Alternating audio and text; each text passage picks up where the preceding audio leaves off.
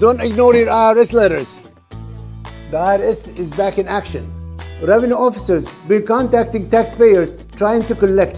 When you file your tax return and you owe money, the first notice you receive it's called CP14, which is a balance due notice telling you that you owe money for unpaid taxes. Without this notice, the IRS cannot collect from you. The next notice is called CP501, which is a reminder that you owe them money. The next letter is CP504, which is a notice intent to levy your estate refund or other property. Then the IRS will send you CP90 or letter 1058, which is a final notice that you have to reply within 30 days.